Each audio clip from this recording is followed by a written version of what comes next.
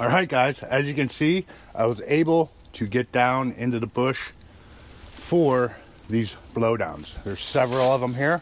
Today, we're gonna start hauling some of this home. There's several of them here. So as I cut, I can actually move closer to these other trees. Let me give you a good look at them. So we got this one here. It wise off up there. So a lot of that stuff is smaller and manageable with without getting too close to it. The next one there is fairly large. Uh, and as well as that next one there. And then, I don't know if you can see it, but there's one up in the bush there that I can just roll down that hill. But I'm pretty sure I can get the truck in this area once I get this stuff cut up. So that's what we're gonna work on today. So stick with me, we'll get right to it. All right, there is a slight danger here with these two trees that are bent over. This one here, the bigger one, is definitely broke off, not alive. The smaller one that's underneath that is still still has leaves up here. So there's no leaves down here. So if I were to top this, that's gonna stand up a little bit. It's not gonna stand up too much because it's probably been bent over way too long. But uh, I'm probably gonna start bucking somewhere around here because it starts getting pretty squirrely up there, at least on this stem. The other stem, I'll probably start somewhere over in here and work my way back to where these two are under this tree and see how it goes. So, yeah, man, let me get out the 500i and uh, we'll commence to cutting into this stuff.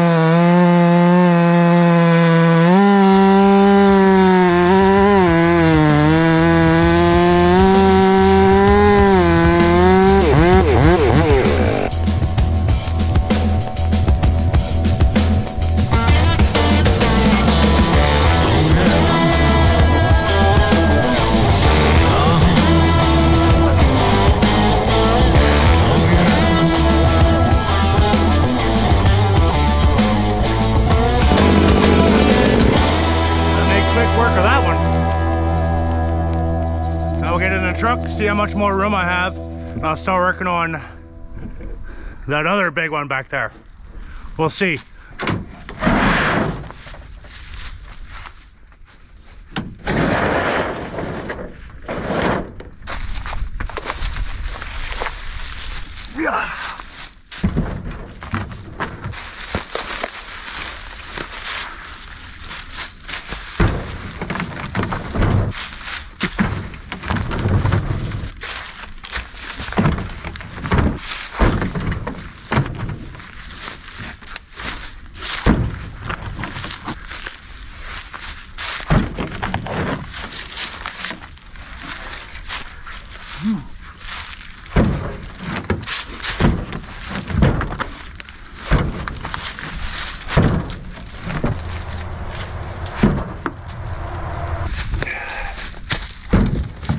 So I gotta figure out how to get the rest of that into here. So I'm gonna load it up as best as I can and we'll come back and see how I did. Well, there we go guys. The truck is full. All the rounds are picked up. I'll get this one home and we'll come back for that other big sucker right there. So let me get this home. I don't know if I'll film the unloading but uh, definitely film cutting up this big sucker. So see you in a bit. All right, guys, we made it back down in here. We got this big sucker to cut up here and possibly have to noodle some to get it in the truck, but uh, we're gonna make it happen.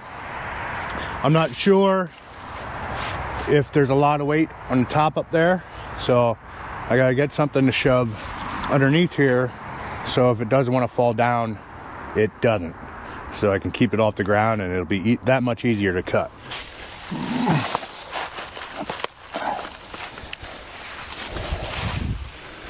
All right, now we can cut it off up here and we'll be good to go.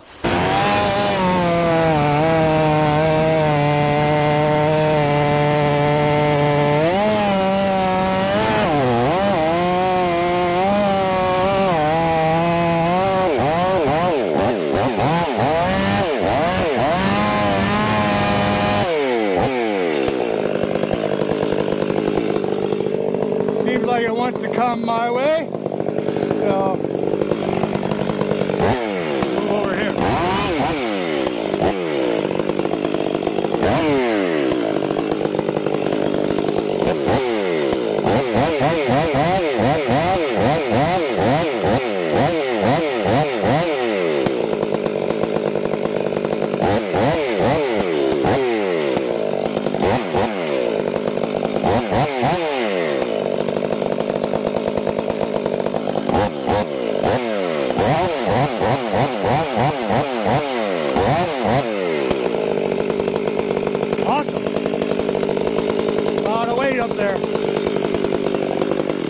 lot of weight up there. But it is just suspended by itself. So yeah, I'll get this easy stuff out the way instead of fighting through the mess that's up there.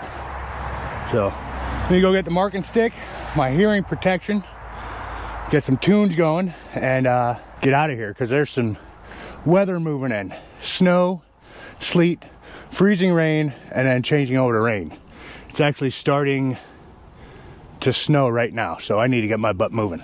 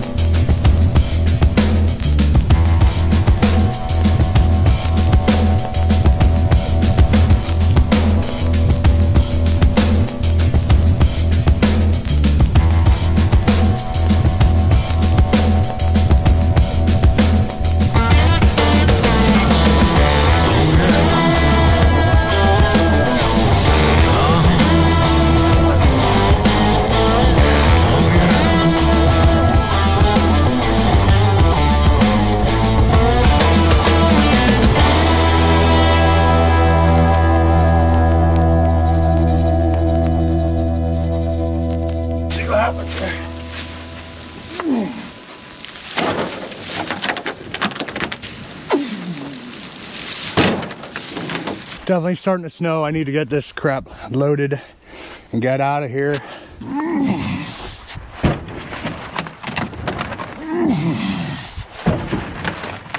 All right, I'm gonna load this one and then I'll come back when it's all loaded up.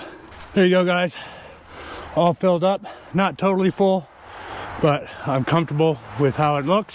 Time to get it back to the house, so I'll see you there. All right, guys, as you can see, made it back. Maybe I can open this. Maybe not.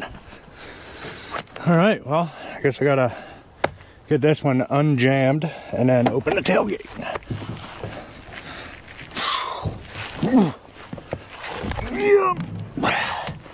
Let's try that. No. Wow. Still all jammed up. Let's try that. There we go. Tight fit. Tight fit, fellas.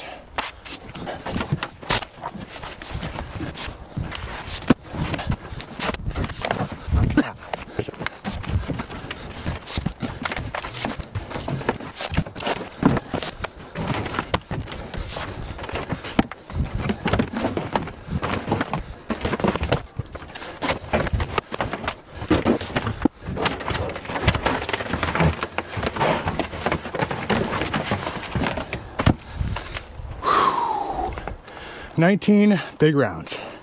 That's what I'm talking about. So, as you can see, that's the other load of hickory all bucked up. And basically, where that little gap is to here is what I got today from the roadside. Whew. Two decent loads. Yes, it's a little bit of work, but it's well worth it for sure. Sam and I got the trailer emptied from the last time we were splitting. And trailer set back up. I'm gonna back the truck up to it, get it hooked up after this video so I can get into splitting that stuff there. I wish I could make one more trip down there today, but with this weather moving in, I don't want to chance it. I got plenty to do here for now, so the next time I'm down at the roadside, I'll definitely bring you guys back along and do that. So anyway, guys, if you like this type of stuff, go ahead and hit that subscribe button, hit that like button, leave a comment down below, tell one of your friends. I'll see you guys in the next one.